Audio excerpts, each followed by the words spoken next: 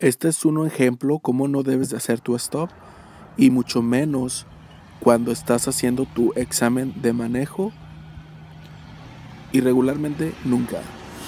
Una de las mejores opciones que tienes para saber que estás haciendo bien tu stop es parar inmediatamente cuando pierdes vista de la raya. Así es como se mira por dentro y cómo se mira por fuera. Amigos, cuando vayan a hacer su examen de manejo, pregúntenle a su inspector. Cuando va a cruzar una persona en un cruce que está en la banqueta mirando para cruzar, ¿debo de esperar o seguir? Para que él les pueda decir y no vayan a reprobar su examen de esa manera. La historia sucede así. El inspector le comentó a mi primo que diera vuelta a la izquierda. Iba todo bien, ya llevaban más de 15 minutos manejando. Él llegó a una esquina y dio su vuelta y miró unas personas en la banqueta. De esta manera, él paró para que cruzaran. El inspector le comentó que no lo debería de hacer, solamente si las personas ya llevaban unos pasos adelante. De esta manera es cuando debe de parar para que esperar que crucen seguramente hacia el otro lado.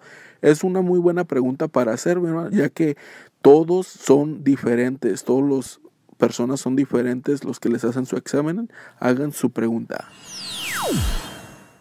También hay que recordar que no hay que pisar la línea de las bicicletas de esta manera, porque si lo hacen, automáticamente ya reprobaron el examen. ¿Cómo saber cómo entrar a la línea de bicicletas en, a tiempo? Bueno, Ahí mismo la línea les demuestra que se está cuarteando. En cuanto se está cuarteando la línea, ya pueden entrar a la línea de bicicleta. Pero antes de entrar, tienen que checar su lado derecho y su punto ciego. Porque si no voltean la cabeza hasta atrás para mirar su punto ciego, eso automáticamente los va a descalificar también, ya que es muy peligroso si viene un, uno de bicicleta y nomás te metes mirando tu espejo.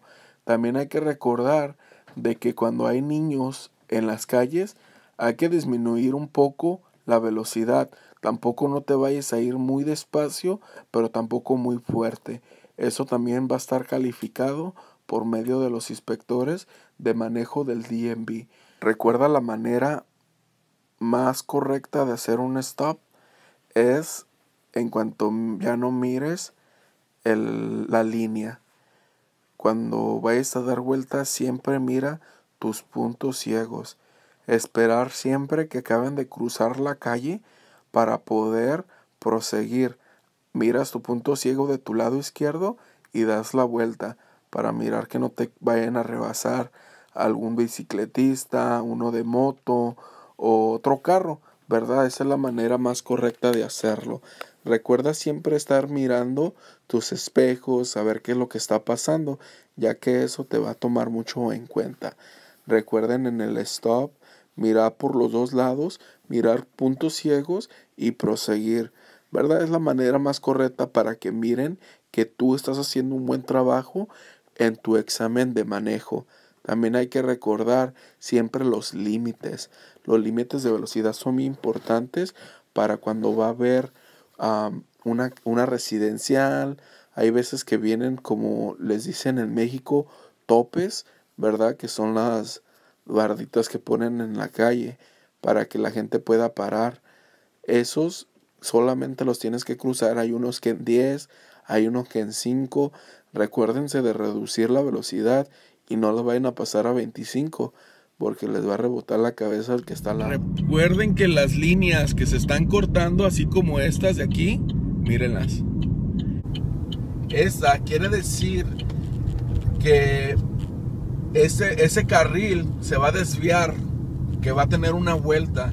Si el instructor le dice, vaya todo derecho, y usted va todo derecho, pero quedó en un carril que va a dar vuelta, él no le dijo que diera vuelta. usted está dando una vuelta. Y eso lo puede reprobar porque nunca le dijeron que diera vuelta a la derecha. por eso lo puede reprobar. Usted si sigue y ven que estaba el carril, se está haciendo pedacito la rayita, es porque se va a voltear, va a cambiar, se va a ir, se va a desviar a otro lado. lógicamente ustedes pongan su flecha, volteen a su punto ciego y prosigan derecho, porque nunca les ha dicho que, digan, que den vuelta. Ténganlo mucho pendiente eso, ¿ok? Siempre mantenga su distancia con el carro que va adelante, nunca se le vaya a pegar. Aquí está, mire, esta, estos signs aquí dice que la velocidad es de 40 millas por hora, ¿verdad? Pero adelante nos cambia rápido la situación y dice 25 millas por hora. Y aquí voy a tomar el teléfono para que lo miren exactamente y voy a bajar la velocidad. Para aclarar esto, ahí dice cuando los niños están presentes. Cuando los niños están presentes solamente 25.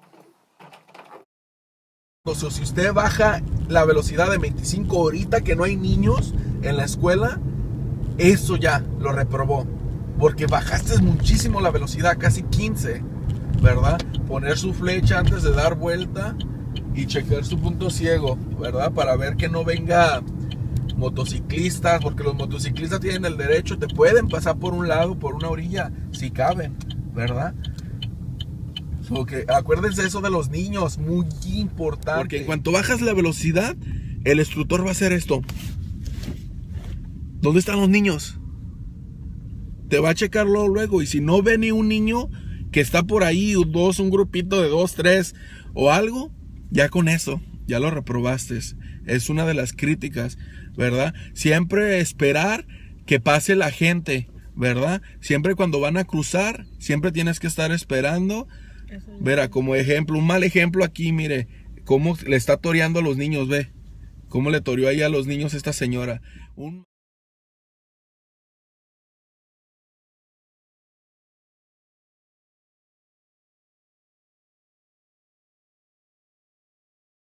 señora. Un mal ejemplo, no los ories, ¿verdad? Tienes que esperar que crucen, así vayan así de despacito. Tienes que dejar que crucen porque los peatones, como dice en el examen, siempre tienen el derecho de cruzar. Y más porque están cruzando por su línea.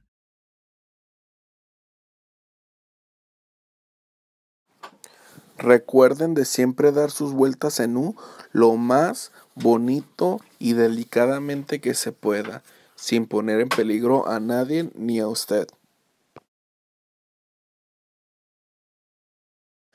Su stop, miran sus puntos ciegos y ya prosiguen, ¿verdad? Si hay uno que se le atraviesa, no, no le piten ni le vayan a, a decir cosas malas para que no vayan a reprobar este examen.